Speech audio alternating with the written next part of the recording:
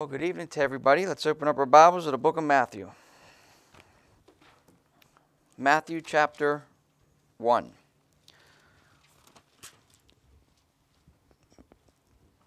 Matthew chapter 1.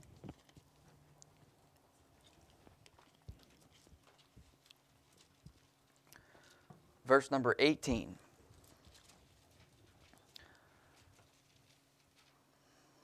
Now, the birth of Jesus Christ was on this wise. When, his, when as his mother Mary was espoused to Joseph, before they came together, she was found with child of the Holy Ghost. Now, I'd like to preach about uh, the birth that changed the world. That's what I'm going to preach on. Now, you could be seated. Uh, I'm not the biggest fan of the word Christmas. Well, Christmas, it's a, uh, I guess, a compound word of Christ in Mass.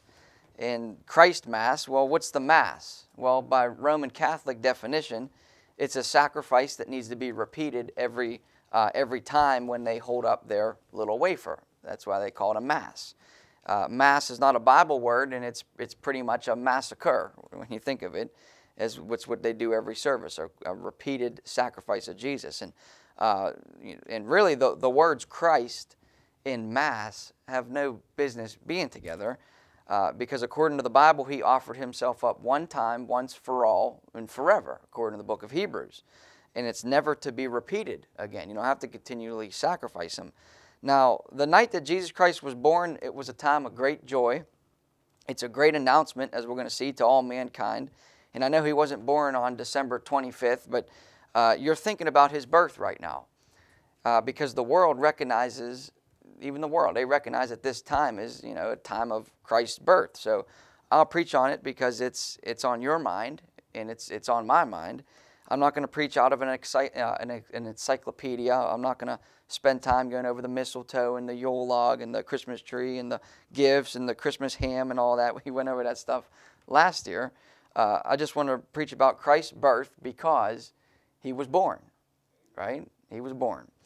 And uh, Matthew chapter 1, verse number 1. Let's look at that real quick. Matthew chapter 1, verse number 1. It starts off by saying, The book of the generation of Jesus Christ. Now, it's the only genealogy, it's the only, it's, this is the only birth that can bring about life from this birth right here to dead sinners. The Bible says we're all born and dead, dead in trespasses and sin. And the only other time that that phrase is used, the generation of, it's used in the sense of Adam, the generation of Adam. And, uh, and you read gene- uh, the genealogy of Adam, in Adam they all die, and in Christ they're all made alive. Okay, you won't find no death in this genealogy, in this lineage. Now, you can read through this lineage of people uh, from verses 2 to 11, and it has some really good men and women in this, in this lineage here. Some, some famous men, uh, spiritually speaking. It got men like Abraham. You got Isaac. You got Judah. You got Boaz. In some, then you got some good kings like Hezekiah and Josiah. Uh, but, but also has some pretty bad characters in it. You got Rahab, mentioned in verse number 5. Uh, Rahab, she was known as, as, throughout the whole Bible, Rahab the harlot. Uh, she, but look, she found her way in this genealogy. Then you got people like uh, Manasseh and Ahaz, who, who, them guys, they got rid of the Lord's furniture in the temple and, and they pretty much uh, brought in brought in a pagan altar, and that's how you find those guys. They ended up in the genealogy of Jesus Christ. So I'm just going to give you a warning that your genealogy is not an excuse for your life. Okay, that's it's not an excuse. You could you could come from a really bad rebellious genealogy. You could come from a broken family, a family of rebels, and you could still amount to something for Jesus Christ in your life. Uh, so pretty much quit whining about what your uh, great grandfather, great great grandfather did or what he didn't do or whatever, and quit complaining that your mother was some harlot and cheated on your dad or whatever. Just grow up and, and live your life for the Lord Jesus Christ. That's what you, what you can do. So putting blame on your, on your ancestry, well, that's not going to work when it comes to the judgment seat of Christ. You can't do that. You can't, you know, you say, well, my great, you know, great great granddad, he was a thief and he was a drunkard. okay, he might have been. He might have been. That's whatever. But how, how does that affect me? It doesn't affect me. Uh, if, if you're saved, I would assume everybody's in here saved by trusting in Jesus Christ. It shouldn't affect you. I'm a child of God. I'm saved, and, and I owe Him my life, and so do you. So a good man, Hezekiah, we read about him, a good man, Hezekiah, he comes from a really bad man, uh, Ahaz. And even and then even a worse grandfather, Manasseh, who you read back their lineage, Manasseh had a good father. So uh, the, the point is that every sinner has to take responsibility for their own lives, right? Now, when Jesus Christ, when he came into this world, come to the book of Luke, it was a dark world of sin. Let's look at Luke chapter 2. Luke chapter 2. Kind of go hop around these passages a little bit. Luke chapter 2, back Matthew and Luke and stuff. Look at Luke chapter 2, starting verse number 1. It came to pass in those days that there went out a decree from Caesar Augustus that all the world should be taxed. And this taxing was first made when Cyrenius, the governor, uh, was governor of Caesar uh, of, uh, of Syria, and all went to be taxed, every one to his own city. And Joseph also went up from Galilee out of the city of Nazareth unto Judea, unto the city of David, which is called Bethlehem, because he was of the house of the lineage of David, to be taxed with Mary and his espoused wife, being great with child.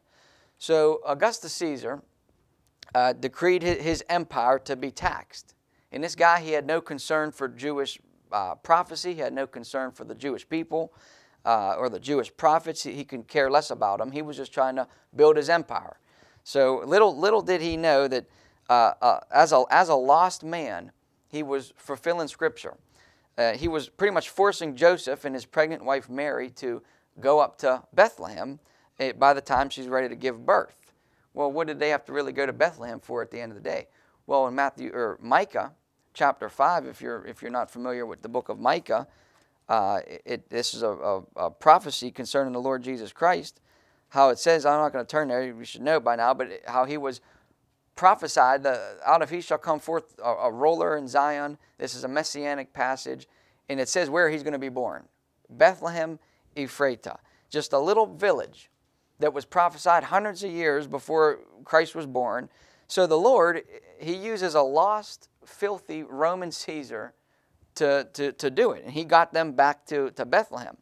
Now, another thing that's interesting about this passage is the, uh, the King James Bible is correct, of course. Uh, all those other versions, they're, they're wrong when it comes to this passage because the word is taxed. So it's an internet, the whole world, the world is being taxed. It's an international tax and I uh, looked up a couple other uh, translations, and they use things like census and regulation and uh, one other weird word or whatever. But there's something to this. In Daniel 11, it shows that uh, that the international raiser of taxes is coming again. It's going to come again. This international raise of taxes. It's going to come when the Antichrist does it. It says in Daniel chapter 11, verse 20, it says, Then shall stand up in his estate a raiser of taxes in the glory of the kingdom. So uh, the new versions, they like I said, they come up uh, the uh, enrollment, registration, or census, and they're just that reads the same as a, as the the Douay Rheims Roman Catholic Bible. They're just trying to get rid of that word tax, which is something there because the Antichrist is going to tax the world, just as this guy did. So you lose an, you lose an interesting cross reference when you get rid of that word. And just as before the first coming of Jesus Christ, there was a world tax, an international tax. That thing's going to happen again at the second coming. There's going to be this international tax by the Antichrist. So Joseph, okay, he had to travel with a pregnant wife, not by a car, not by a train, but uh, pretty much over rocky terrain, riding on a mule. Yeah, that's how he had to travel. We had, he had to go by on, on foot. Okay, so pretty much here's here's an attack on this baby before the baby was even born. Um, it, it's it's an attack that's done in ignorance because he didn't know what he was doing, but uh, it's it's an attack and, and it's not done in ignorance by Satan. He's the one that was behind it. Uh, he, he knew what was going on, and he what's what's the devil after? He's after that seed. He's after the he's after Jesus Christ before he was even born. Because we read that way back in Genesis chapter 3 of that prophecy, you know, from her is going to, uh, a seed's going to come and it's going to bruise your head, Satan. That's what, that's what it pretty much says. And, and the, Lord, the Lord, you read that, he said that right in front of Satan. And Satan heard that, and he, he knew that, and he knows the words of God. He pays attention to the words of God. And the devil, he tries to defy the word of God. That's what he does. And uh, he, pretty much the devil, he's saying, look, if this seed's going to bruise my head, if this is going to come to pass, then I better, I better pay attention, be on the lookout for this promised seed to, to come about. And, uh, and he's going to go after this seed. That's what he did. The devil went after the seed all throughout the Bible. You could, you could read about stuff like that. So the devil, he has Augustus Caesar to declare some, uh, uh, give this creed uh, about being taxed, and they make this journey all the way to Bethlehem. I mean, that's probably that's most likely trying to get get her to lose that child on on on the journey. Uh, but you know, it's amazing that the Lord uses the the wrath of man to fulfill His word. That's one of the greatest proofs of the Bible. Yeah, the, the, it's the people that, that don't even claim to believe the Bible, don't even claim to acknowledge it at all, the Lord uses those people to fulfill Scripture. That's one of the sure proofs of it. This isn't like, hey, let's all get together in our family, get together, and our family's going to fulfill it, and we're all going to fulfill these prophecies to make it look like some big conspiratorial. People that don't even have no regard for the Bible fulfill prophecy. you know, I mean, that's, that's amazing. So keep your hand in Luke 2. Now, back in uh, Matthew chapter 2, I want to show you here's the second attack right after he was born. So, the first attack, him going up, getting taxed, going up, to making that journey to Bethlehem, then that was the first one before he was born. Now, look at this. Here comes another one after he's born. Look at Matthew chapter 2.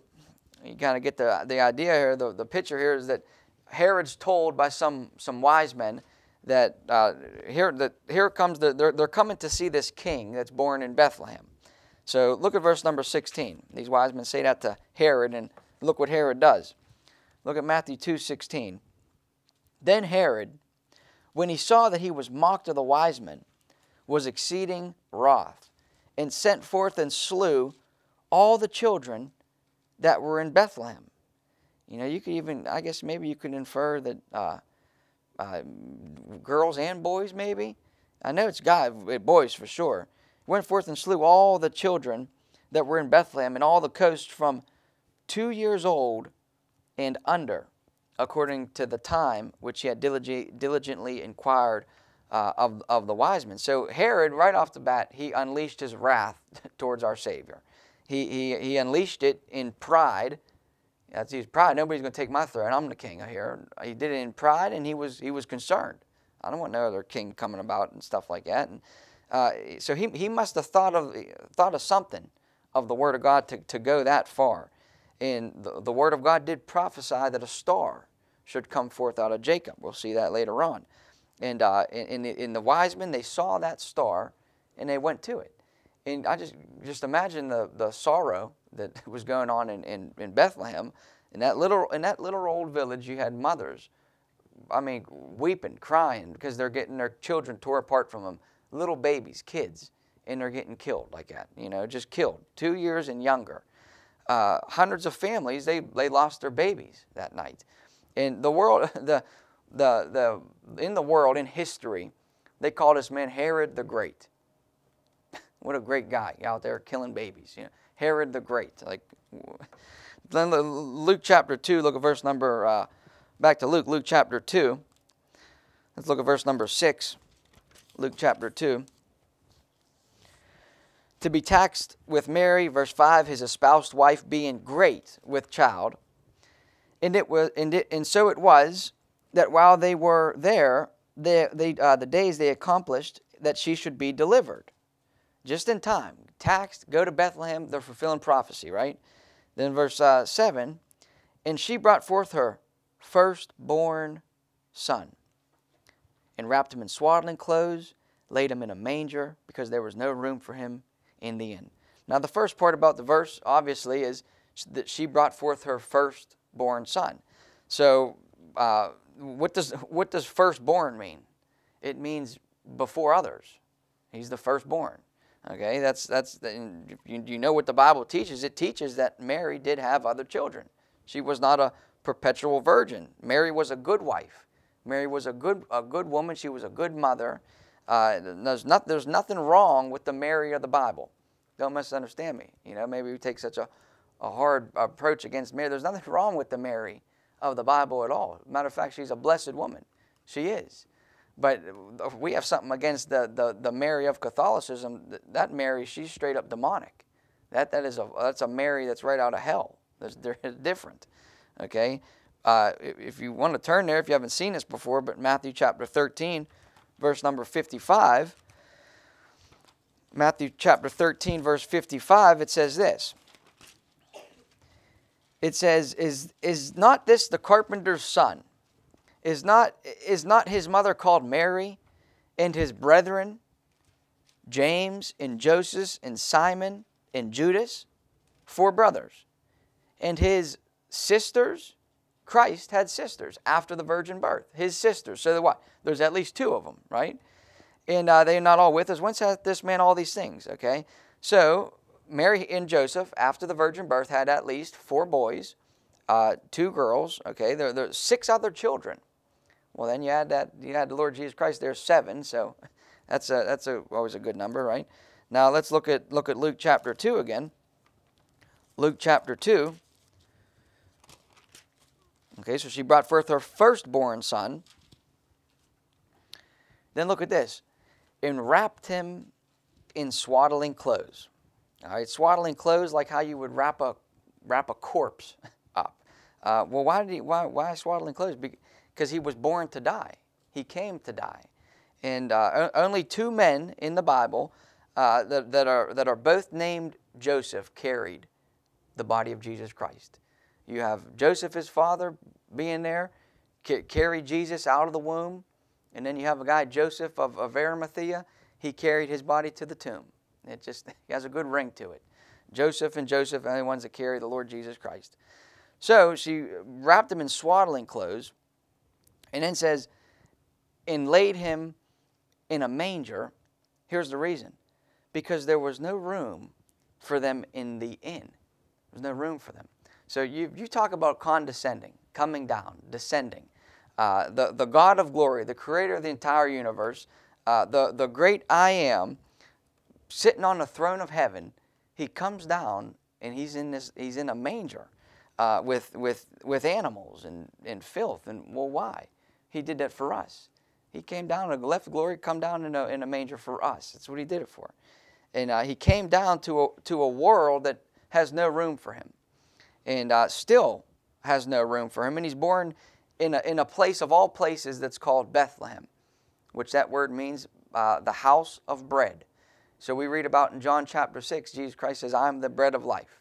So, uh, the, you know, when the, when the bread of life really comes down to heaven and he, he shows up in the house of bread, Bethlehem, these people still have no room for him. So I'm not going to blame the, uh, the innkeeper you know, guy, he's probably just trying to make some money. You know, he's just an innkeeper. I'm not really going to blame him. He don't really know what he's doing. He doesn't know that God Almighty is about to come in, out of all places, to come into my motel, my hotel, and uh, we don't got room for it. If I was a hotel guy and I knew that thing, I'd say, some of you got to go, get out of here. God Almighty's taking the best room in the in my inn. Okay, but what are things? You know, it said that. Uh, there was no room for him. And it just it, this just kind of shows you in type, I believe, that, that the world has no room for Jesus. To this day, they still have no room for him. And uh, it's just they, they, just they push them out, they get them out of there. You go out and go to the barn, go to the manger. Uh, so it's it's something. The, the, the light of the world. He was born in darkness, in the darkness of night. And uh, the, the light of the world, he dies in darkness at his death. You read that in Luke chapter uh, 23. This is speaking of the crucifixion. He says that it was about the sixth hour, and there was darkness all over the earth until the ninth hour. The sun was darkened, the veil of the temple was rent in midst. And when Jesus had cried with a loud voice, he said, Father, into thy hands I commend my spirit. And having, th- uh, having said thus, he gave up the ghost. Saying that's something. He was born in the, in, the, in the darkness of night. He died in the darkness. There was darkness over the earth, and that was interesting during the daytime too. But died in darkness. He was he was born in a manger between animals. Well, we go back to Psalms chapter 22, the crucifixion passage, and we see that he died in the midst of a bunch of animals. Psalm 22 says, The, the bulls of Bashan uh, uh, were round about me, dogs encompassed me. Now I understand there's a spiritual thing there too going on, that, that bulls and dogs. That could refer to spirits and, and men, even. Men are likened unto dogs or likened unto, I mean, you ever know some people that are likened unto animals? yeah, um, you know, I'm sure we all do. We know some people that just live like a dog, you know, but there's something there. Born in the midst of animals, died in the midst of animals. So, and then at, and then at his birth, he was, he was praised by three wise men that gave, them, but that gave baby Jesus three gifts. Well, in his death, he was mocked by, uh, I don't know, three or a couple of them. He was, he was mocked by foolish men, okay, who also gave, gave Jesus three phony gifts. Uh, if you want to say that. In Matthew chapter 26, if you want to look at these real quick, look at the three gifts that these uh, scoffers, these mockers, gave him. Matthew chapter 26, look at verse number 27. Matthew 26, look at verse number 27. Um, hold on.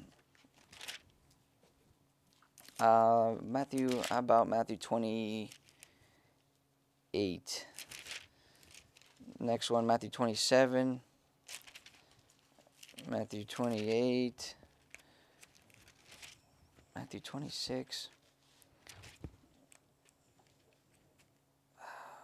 Verse number 27. Let me see. Okay. It's Matthew 27 27.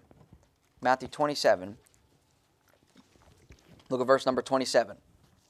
Then the soldiers of the governor took Jesus into the common hall and gathered, gathered unto him the whole band of soldiers.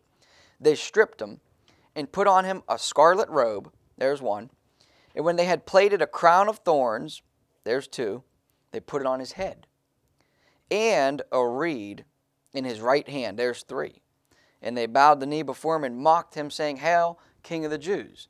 So you got three phony gifts from these band of soldiers. I don't know how many were doing it. Probably maybe even three. Who knows? So at his birth, he was he was hailed as as king. Okay, and and then at his death, he was hailed as king. Except they were mocking him. One was genuine. One was one was a fake. One was phony. Another thing is uh, about the similarity with that is one of the gifts was uh, that was given was myrrh from one of the wise men. So myrrh was given in his birth, and then myrrh was also given at his death. It says in John chapter 19, there came Nicodemus, which at the first came to Jesus by night, and brought a mixture of myrrh and aloes, about a hundred pound weight. And they took the body of Jesus, wound it in linen, clothes with the spices, as the manner of the Jews is to bury. So then you see myrrh shows up at his death.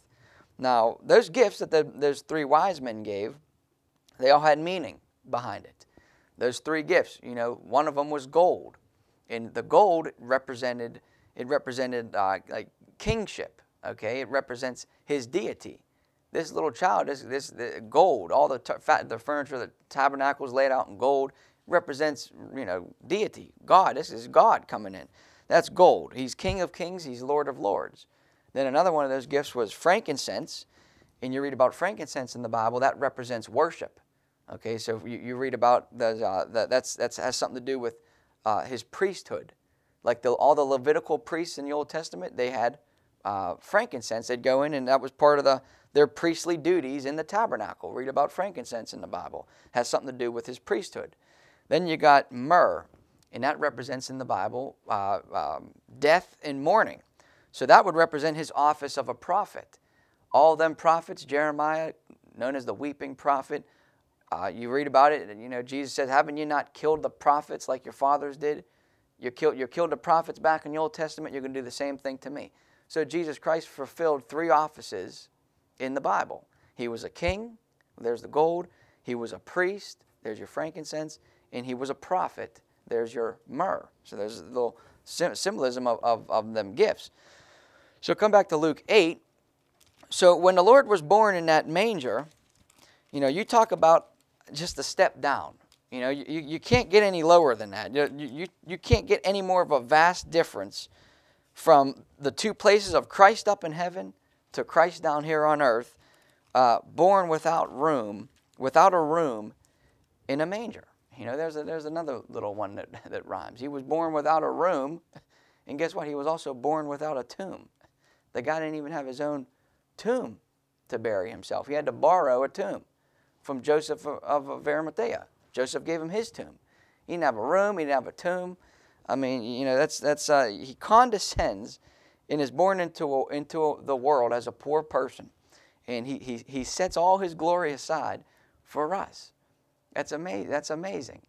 He didn't come down and you know just worship me. I'm just like he, he really humbled himself, took upon the form of a servant, humbled himself, being obedient. Uh, he learned obedience. I, I still I, I could explain to you, you know, all powerful God, but yet he has the power to limit himself. All knowing God, yet he has the power to limit his knowledge. and he has to learn things. That's, that's beyond my, my comprehension, uh, uh things like that. So the Lord Jesus Christ, the, the, the, the, the God of glory, look at verse number look at verse number eight. Let's look at this. Look at verse number eight real quick. And there were in the same country shepherds abiding in the field, keeping watch over their flock by night. Where, where's like the fanfare and where's like the the the gun salutes and the in the parades and the uh, in the where's where's the where's the liquor at? Where's the drugs? Where's the pot? Where's any of the stuff? Where's the big deal? Where's the parades of, of, a miraculous birth, a fantastic birth has, has just happened? And uh, you know, you read stories about that, like kings. Uh, uh when a king would have a son, uh, into the royal family that would inherit the, his throne, they'd have these big deals, these big banquets. They'd shoot off uh, 100 cannon rounds and stuff like that because they had a son born into the royal lineage. Uh, fireworks and all that stuff. But the Lord Jesus Christ is introduced to a bunch of nobodies. just, a, just, a, just a bunch of poor, lonely shepherds out there in the field. And that, that encourages a, a nobody like me. It really does. You know, and I, I, believe we have kind of a tendency to think that, uh, you know, I, I, could I could only if I could only be holy, if if uh, if I could just get rid of the daily grind of working and just spend time alone all the time. And no, your what I see is your holiness is going to be found in your daily grind of life, so to say. And uh, you know, the that's there's there's there's something there. Maybe, maybe that there's those shepherds, one of them I don't know, maybe he might have said to the other shepherds, Look, I don't feel like coming into work today. I'm just going to call it a night. I'm going to relax and lay down. And he would have missed it. He would have missed the biggest announcement in history, the world's greatest birth. He would have missed something.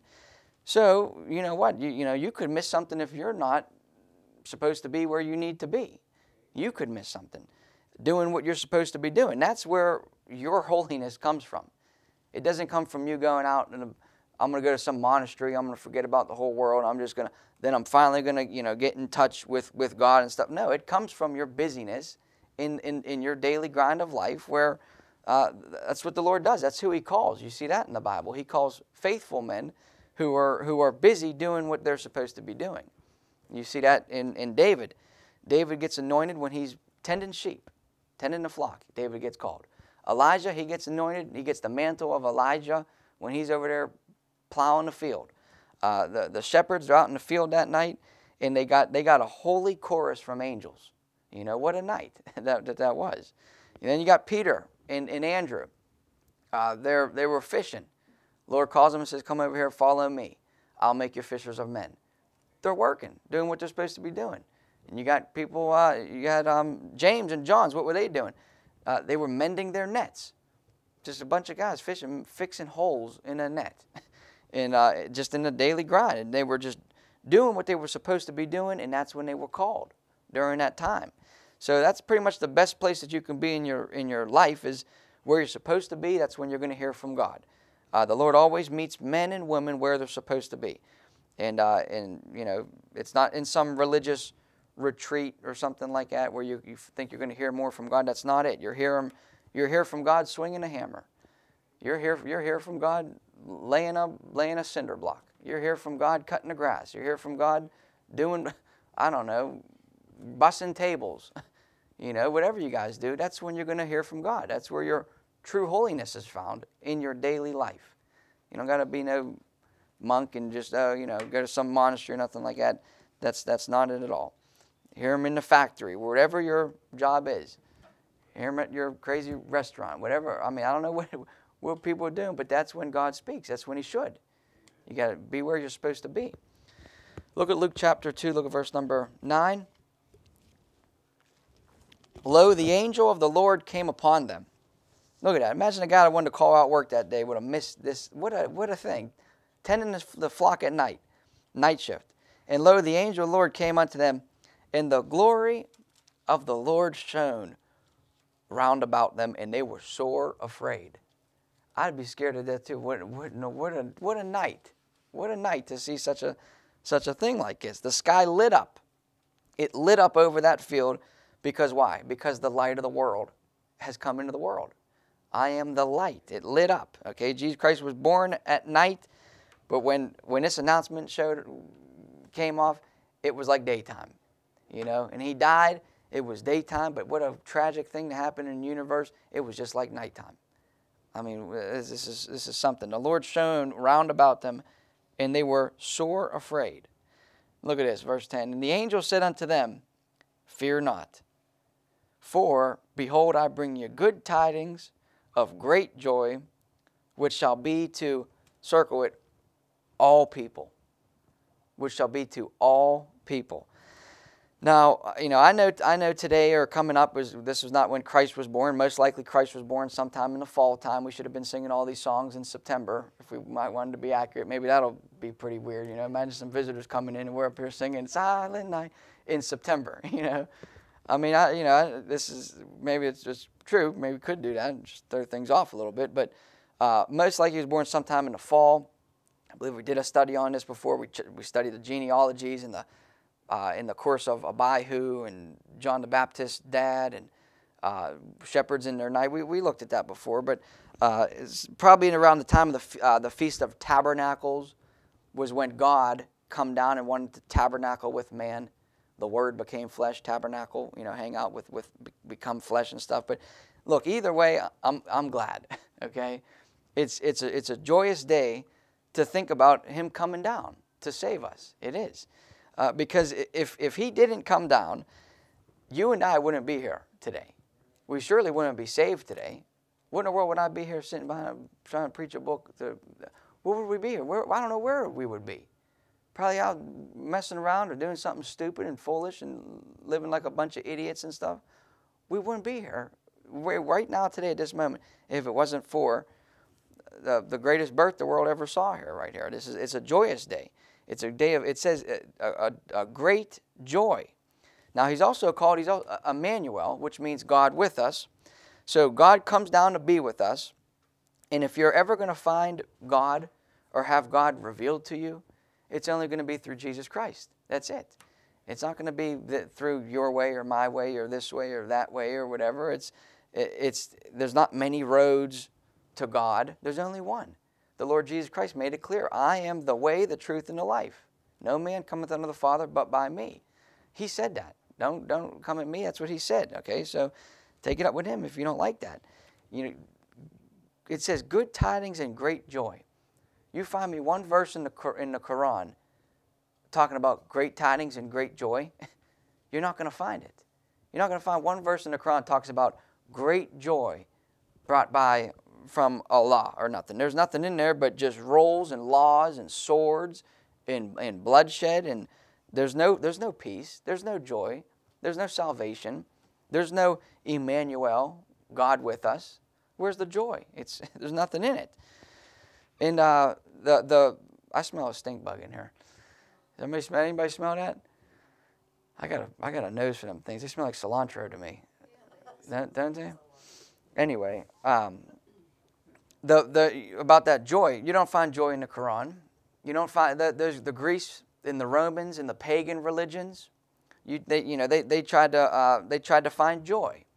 And to all their followers of the, of, the, of the paganism religion, they said, yeah, the way to find joy is just go out and fulfill the lusts of your flesh. Do whatever you want to do, whatever feels good, whatever pleases you.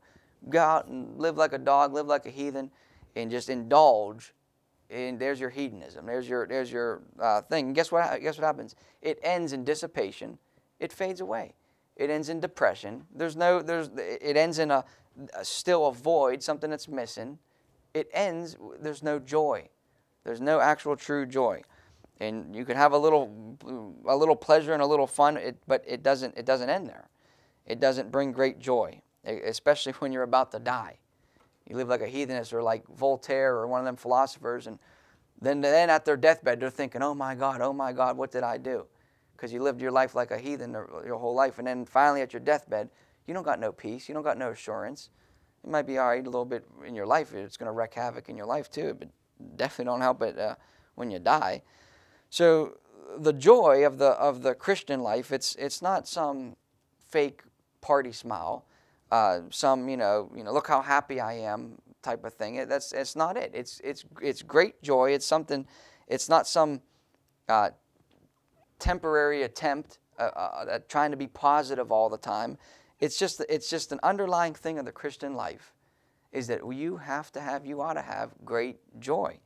Uh, we have good days, we got bad days, and we have stuff go wrong in our in our in our lives and things like that. But underneath all that, we actually have a message of great joy and good tidings. Okay, we got a life of joy. That's the Christian life. And and, and sinners, we can only find that joy that's in Jesus Christ. Okay, and and I I found joy, and I and I, I found out that uh, that I couldn't meet uh, all the demands of God's law I can't meet those things. That, that, law, that law told me that thou shalt not lie. I lied. There's one right there. I broke one of them. Who, who, cares about the rest of them? You already broke one of them right there. You lied. And that law says thou shalt not, thou shalt not steal. You stolen. You know, you did all kinds of things against God's law. And, and when you found out, you know, Jesus Christ fulfilled the law, He took my place for me, that ought to have brought you some great joy in that moment. That had to bring a great joy, you know. And, and, and, I, and I'll, I'll tell you what else that gives me great joy is that I don't have to serve sin anymore. I have a choice now. I don't have to serve sin in my flesh. When I was lost, that's all I can do. I had no other opportunity. I had no other choice. And, and if you think, okay, well, you know, you had a choice, and I was just trying to do it to please myself, trying to turn over some new leaf, or trying to make me feel better about myself from trying to do good deeds if I ever wanted to do one and things like that. That was just me trying to feel better about myself. There was no joy uh, as, a, as a lost man. There was no peace when you were lost. You didn't have none of that. In, in peace with God, when you have peace with God, it does bring you great joy. Peace with God. In the, the birth of Jesus Christ, it, it, brought, it brought praises. They were uh, uh, they're out there shining around about and behold, to bring you good times of great joy. The, the, it's a, it's a, another verse. It's, a, it's like the angels are singing. There's a chorus of angels and things like that. That's a, that's a blessing. It is. And uh, at the birth of Jesus Christ, that's worship. Uh, and, and this, this announcement is made to all mankind. It's available to all.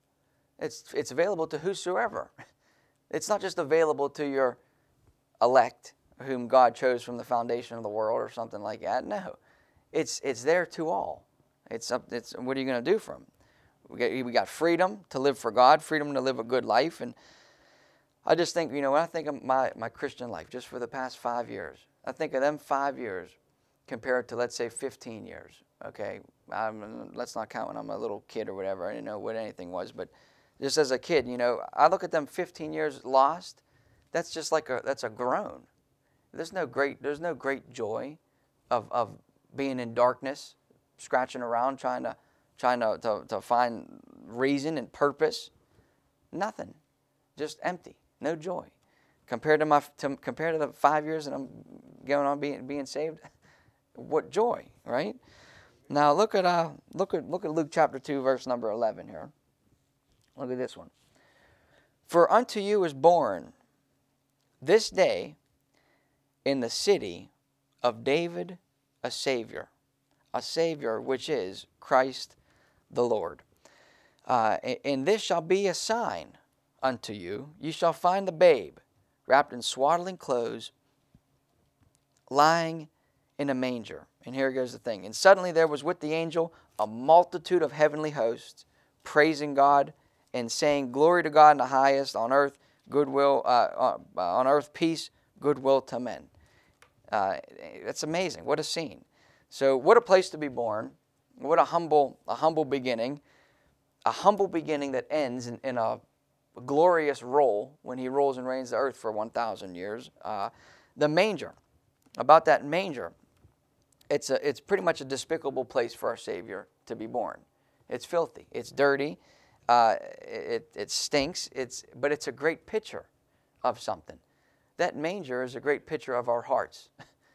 dirty, filthy, despicable, it stinks, desperately wicked. I mean, that's, and, and yet, doesn't the Lord say, I want to come into your heart? He does. He, he, I want to come into your heart. Just and, and our heart's a pretty dirty place. And but when he comes in, he, he start he helps us. He tries to help us clean it up. And I know there there's sinners out there that uh, say that I, I just I just can't have him in my heart. I'm too dirty. I've done too many wicked things in my life. He he just can't come in. I'm too I'm too filthy. Well, he came into a place like a manger. If he come into a place like a manger, he'll come into your heart and and and, and uh, that's a that's a one of the mysteries uh, of, uh, of that Paul talks about. The manger took them, so therefore you can take them. In a manger, that's a place for an animal, and he was there. So that same thing could be said about our hearts. Okay, in that manger, it that just the manger had room for him. So that there's the, there's a good question to ask you all: is do do you have room for him? So we talked about last week, loving the Lord, our God. Do you have room for him? Sanctified Lord God in our hearts set apart. Give them time. There's a room in your heart. So that's the, the, the question to any sinner out there. It's not that, uh, you know, uh, you know, the, are you are you worthy or something? You're not worthy enough. That's not what it's about. Just the question is, do you have room for him? Will you come and allow him to, to come in? That's that's the real question. The innkeeper, the innkeeper, the innkeeper said there's no room for him. All the houses over there in Bethlehem and that whole little village, there's no room for him. But somewhere over in that little back on the backside of some barn over there, there's a manger over there. He can go over there, go, go born in that thing over there. But the manger had room for him. And you see the billionaires of today and the kings and queens of today and the, the politicians of today and all that. They today they don't have no room for Jesus Christ. They could care less about him. Uh, eh, eh, but yet every one of them is gonna is gonna bow their knee one day to the Lord Jesus Christ, and they're gonna they're gonna make room for him. Uh, they, they're going to. Um, and that's, I know, you ask, just ask any stranger what he thinks about the Lord Jesus Christ. They lift their nose up at him. They, they don't, they don't, most of them don't care about the Lord Jesus Christ. It's like nothing's changed uh, at all. Um, and, and right now, you know, he doesn't demand you to give him glory. He doesn't demand you worship him, but he will one day. He will. Every knee shall bow. There's no choice there. Every knee shall bow. So if you want forgiveness, the Bible says you must be born again. And um, so that's just that's just something to think of. Come to come to Matthew chapter two here. Matthew chapter two. Matthew chapter two. In I remember when I was first presented with the Lord Jesus, I, I didn't want him. I turned him away.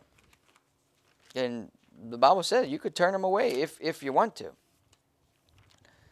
But you know, some, this thing about Christmas time, this is sweet. You know, we sing these Christmas songs and we sing the, think about the birth and sing the lullabies and things like that. But he's not coming back as a baby anymore.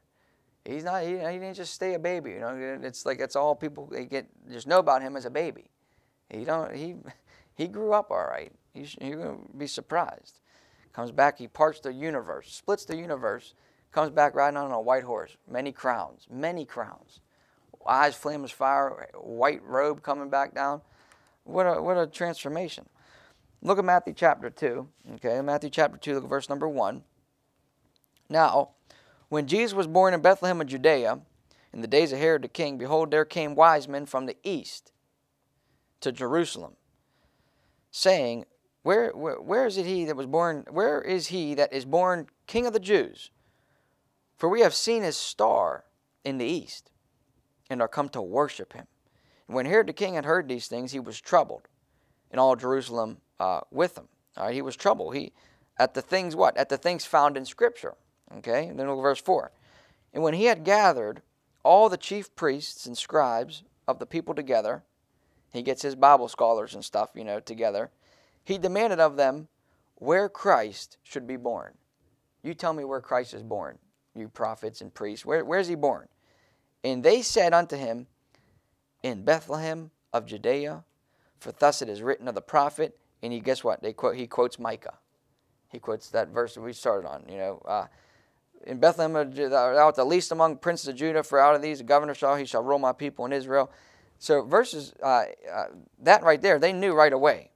Now, if you compare that with uh, the Gospel of John, if you have time, real quick to go there, John chapter seven, they spit it out right away. All right, Where, where's Christ born? They knew it right away. He's born in Bethlehem. Well, then you look at this story over here in, in John chapter 7. Look at this. Now that he's born, this is what, 30 years later? Entering into his public ministry? Look at John chapter 7. I know they remembered what that, what that story was. The star came, Herod killing babies. That's a big time in history. Just happened 30 years ago. You know, babies getting killed, star in heaven. They've seen these signs.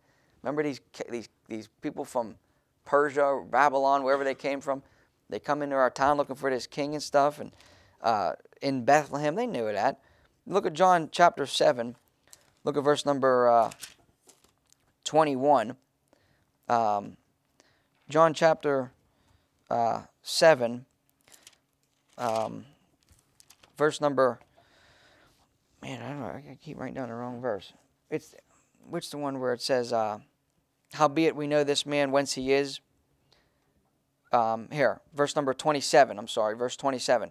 Howbeit we know uh, we know this man whence he is. But when Christ cometh, no man knoweth whence he is. what a bunch of liars. You know, now, now, now when Christ comes, they played stupid. Well, we don't know where he's going to come. Nobody knows where he's just going to show up, the Messiah. Yet 30 years ago, they could, them, them scribes and prophets, they knew exactly where he was born. So uh, they, they, uh, they lied. They, they, just, they just didn't want him to be their Messiah. They just did not want the Lord Jesus Christ. They envied him, is, what, is why they, they delivered him up. Now come back to Matthew chapter 2. Let's look at the, the, the manger scene here. Okay, we're getting a little, uh, getting a little bit older here now. Look at Matthew chapter 2. Look at verse number uh, uh, 7. Then Herod, when he had privily called the wise men, inquired of them diligently what time the star appeared. And he sent to them to Bethlehem and said, Go and search diligently for the young child. He's not a, not a babe, but a young child. And when you have found him, bring me word again that I may come to worship him also. What a liar. He wanted to kill him. When they had heard the king, they departed. And lo, the star, which, uh, which they saw, uh, uh, saw in the east, went before them till it came and stood over the young, where the young child was. So that's interesting. You know, before we read in Luke, it was all about Mary and the babe. You know, the babe, the babe. Now it's about this young child. Now look at verse number 10. When they saw the star, they rejoiced with exceeding great joy. And when they were, uh, notice they had great joy too, right out, right out of the gate. When they, when they were coming to the house, right, not the manger, but a house now. This is year, a little bit, couple years later. So he's probably at least two years old, maybe. That's why Herod said, killing them kids up to two years old. Because by the time it had passed, these guys were coming to us. Fi- he figured it had to be about he had to be about two years old now. Okay, when they were coming to the house, they saw the young child and his mother, and fell down and worshipped him. And they opened up treasures. They presented unto him gifts, gold, frankincense, and and uh, myrrh. Okay, so you know this this I hate to uh, spoil your nativity scene with all the shepherds and the shepherds are there, the wise men are there, Frosty the Snowman's there, Santa's there, Rudolph's there, the whole gang's there, everybody's there. I hate to spoil that picture, but no, they're different events. In the manger, just the shepherds were there. You go up in the house, now the wise men show up. Two different, two different events. Okay. Now, uh, we'll look at verse number twelve. Being warned of God in a dream that they should not return to Herod, they departed unto their own country uh, another way. Okay, so they, these men, they were called the wise men. They were wise. What were they doing? Were they into paganism and think? No. These, they were wise because they searched the scriptures daily. The fear of the Lord bringeth wisdom.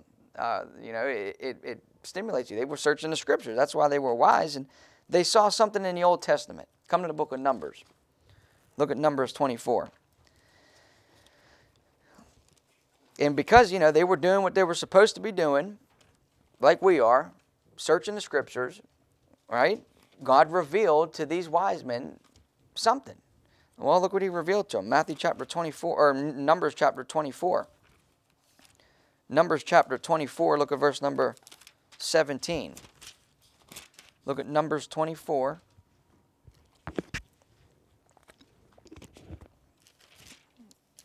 Numbers 24, 17. I shall see him, but not now. I shall behold him, but not, uh, but not nigh. Uh, there shall come a star, capital S even, a star, out of Jacob. That's Israel. Jacob, Israel. And a scepter shall rise out of Israel. And now look at this. And shall smite the corners of Moab and destroy all the children of, of, of uh, Seth. Ain't that something? Now this here's here's a, a prime importance of why we have to rightly divide. So you see the here comes a star, okay? A star, that's first coming. A scepter shall rise out of Israel and shall smite the corners of Moab. Well, that's that's second coming. So there, there all these commas in that verse literally separates 2,000 years. Star, first coming, smiting people, coming back with vengeance, the second coming. You have to we have to rightly divide our our Bible, okay? And uh, in in Balaam, I believe he's the guy that, that's uh, given that prophecy. Um, he, he doesn't know that, okay? And nor does any Old Testament Jew know that what was going on there. Now we know it because we're in the New Testament. We're on the other side of things looking back. But it says, A star shall come out of Jacob. Come to Daniel real quick. We're just going to touch upon this briefly. Daniel book of Daniel. Um, a star shall come out of Jacob. So those those wise men, they sure were, they were wise. I mean, I, I wonder how much how much time they spent in the scriptures and figuring this stuff out. Because look at this, look at Daniel chapter. Uh, I don't got the reference down, but uh, notice is what they were going after. We're not going to get too crazy with this stuff. But look at Daniel chapter 9 real quick. Daniel 9, verse number 24. Okay, Daniel 9, 24. 1154, one of the meatiest passages in all the scripture. Look at Daniel 9, 24. 70 weeks are determined upon thy people, God's people, Israel, and upon thy holy city, not Deep Washington, D.C., but this is Jerusalem, to finish the transgression and to make an end of sins okay, and to make reconciliation for iniquity, sounds like Calvary, sounds like the first coming, and to bring in everlasting righteousness, okay, that sounds like the millennium, even beyond that, even beyond a thousand year reign, his kingdom is forever and ever, right? That's what the Bible says too. And to seal up the vision and prophecy and to anoint the most holy, most likely Christ was anointed at the baptism, when the, when the dove descended upon him, the Holy Ghost, that's probably his anointing there. Uh, know therefore and, and understand that from the going forth of the commandment to restore, to build Jerusalem un, unto the Messiah, the Prince, shall be seven weeks, and threescore score in two weeks. So a score that's 20, 40, 60. Uh, 60 in two weeks, that's 62. The street shall be built again, and the wall even in troublous times. Might have a future application. And after three score and two weeks shall Messiah be cut off. He has to die. Okay? But not for himself. Christ didn't die for himself. He's dying for the people. He, he wasn't a sinner. He had to die for the people. But then, in the people, of the prince shall come, destroy the city, the sanctuary then shall be of a flood. The next thing you know, verse 27, he shall confirm the covenant with many with one week. In the midst of the week, he shall cause the sacrifice and the oblation to cease and for the overspreading of abominations, he shall make it desolate, even the consummation, go on and on with that. Now, this is, you have to be wise. You have to search the scriptures to even understand what in the world is going on here, okay? Uh, that star came out of Jacob, and those wise men, they started looking for that star right around the dates that Daniel gave. Number one is this is a prophetical week, so that makes it even harder. This isn't just literally 70 weeks. They're 70 weeks, which equivalent to years and, or something like that. So it's it's uh, it's uh, it comes out to be 490 years, and uh, at, at at 483 years, the Messiah would be cut off, it, this, this passage tells you when the Messiah would come. This is the book of Daniel, probably written around the Babylonian time, Babylonian captivity, Nebuchadnezzar, wise men probably, there's probably a big deal to them. They probably you know, read a lot about this. So they knew, okay, if, he, if Messiah's going to get cut off at 483 years, he had to show up sometime around 480 years after the prophecy of Daniel was given. Okay, and uh, those that's tough. But those wise men must have understood Daniel's 70th week. Um, Bible scholars to this day still have trouble with this, and even our, like you know, talked about last week, even our own camp of King James Bible believing Baptist Christians and stuff like that, they're still fighting about the remaining time on Daniel's 70th week. Is it, you know, I, I still believe that there's still a week has to be fulfilled. There's a week left, which is seven years. In the midst of the years, if things broken and stuff like that, I'm still going to teach it's seven years. Uh, because imagine this. Imagine if I go around now teaching three and a half years, and some brethren get lost in the church, and they remember, yeah, he's preaching three and a half years. Then all of a sudden they go, they get left behind at the rapture, and they think, I'm going to endure the end. I'm going to do what I can. I got three and a half years. Next thing you know, I got another three, the three and a half years. The son of perdition shows up. They're going to think it's Christ. I don't know. I'm going to just play it safe. It's, say it's seven years. all right. Either way, I'm gone out of here. We don't got to worry about all that stuff. But the point is, those wise men, they were wise because they searched the scriptures, and then and, and they were they were looking up at the stars. The stars, the stars are for signs. You could read about that in. Uh, in, in Genesis and things like that. The, so the come to Matthew 24, Matthew chapter 24. So the first coming, there were signs in the heaven. A star appeared. And them wise men are searching the scriptures. They got that Daniel 70th week. They got it cracked down. They know, they know exactly when the Messiah is coming. That's amazing. I mean, that's such a meaty passage of scripture. But the Lord revealed it to him. So uh, first coming signs show up in heaven. Well, look at Matthew chapter 24. Matthew chapter 24, the second coming, there will be signs in the heaven.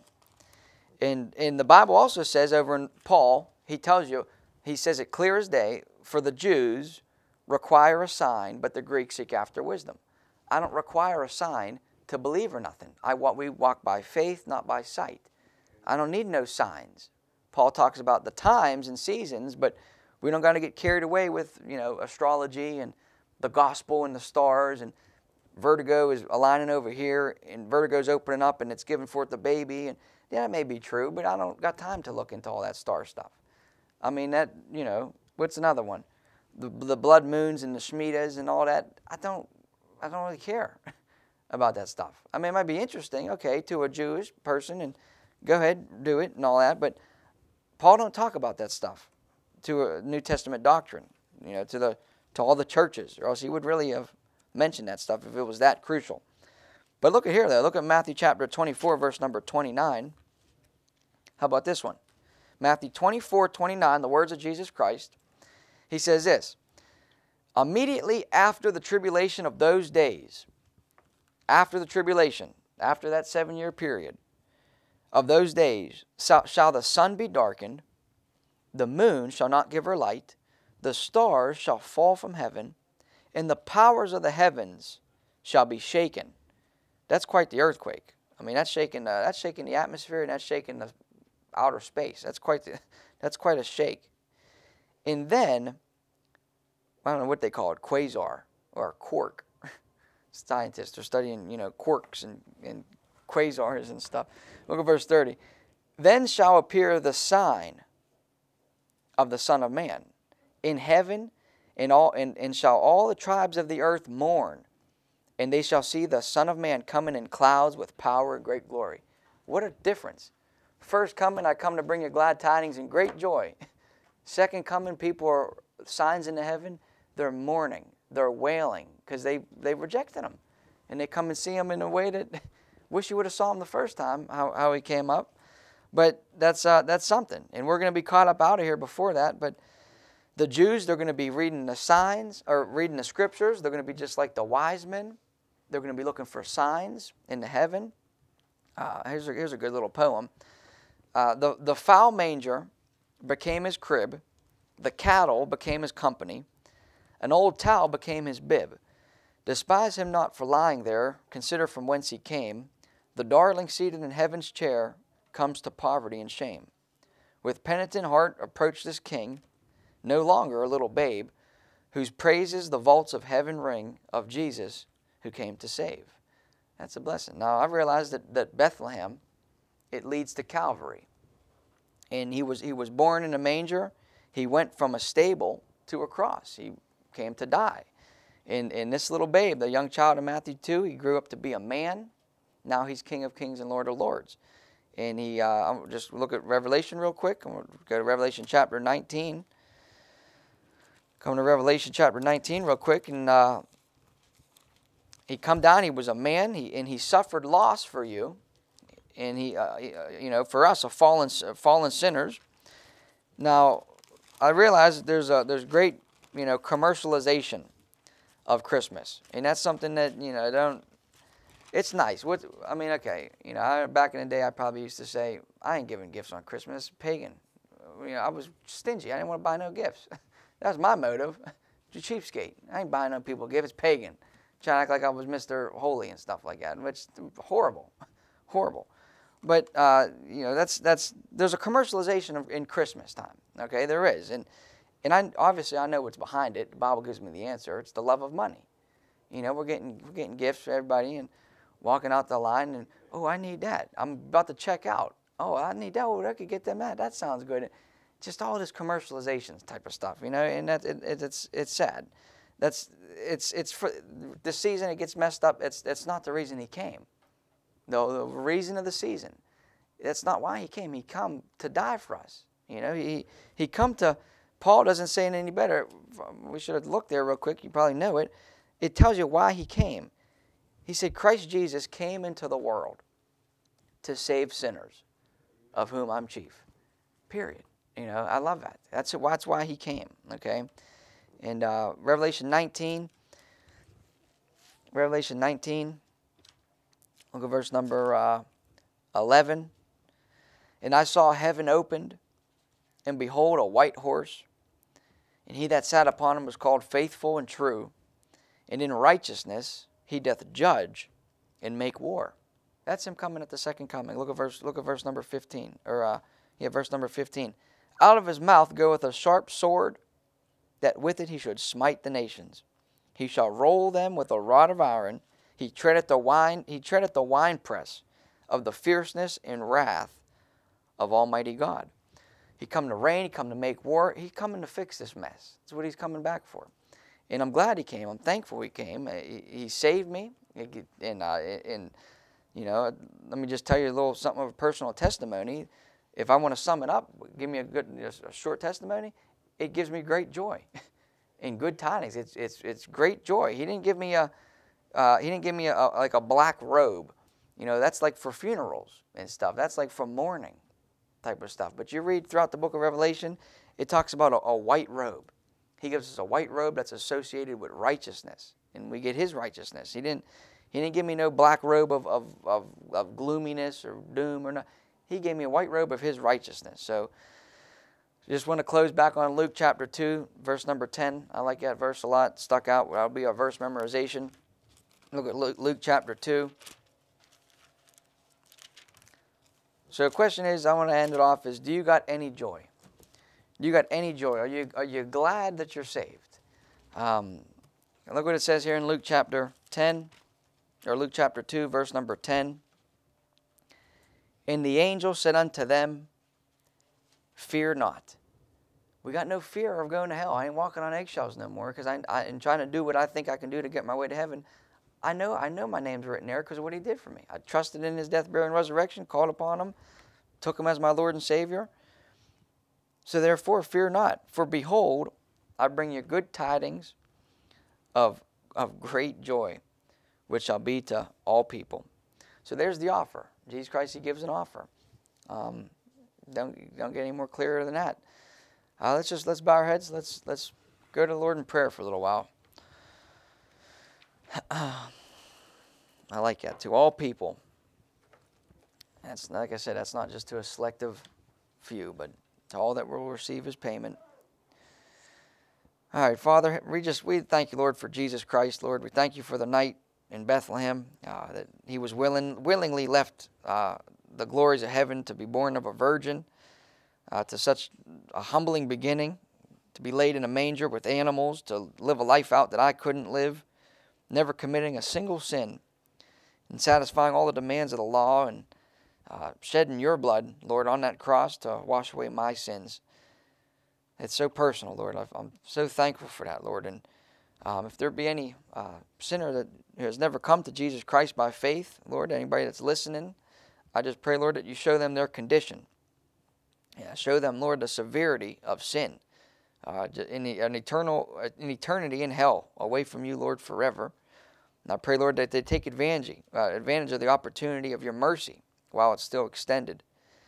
And I just pray, Lord, that uh, that they invite you in and, and make room for you, Lord, in a, in a world that has seems to have no room for you. So busy, so crowded, too much noise, and you came on that silent night, Lord. And I just, uh, what, a, what a blessing, Lord. That manger had room for you, and our hearts should have room for you, Lord. And um, for those of us, Lord, that are, that are saved, just um, may we use this world, but not abuse it, like Paul says, and may we use this time to, to tell others how Christ came and born in a manger and swaddling clothes and uh, such a cute little picture and beautiful picture, but he came to die for sinners. I pray, Lord, that we bring that, that message to other people uh, during this time. Get out some uh, as many gospel tracts as we can, and uh, just talk about just our joy, the great joy that you brought us, Lord, the, joy found in the Christian life, Lord. Thank you for bringing, uh, giving us just purpose and just a reason for breathing, a reason to be alive. As Paul said, for me to live as Christ and to die as gain. And uh, we just did that, Lord, and so thankful.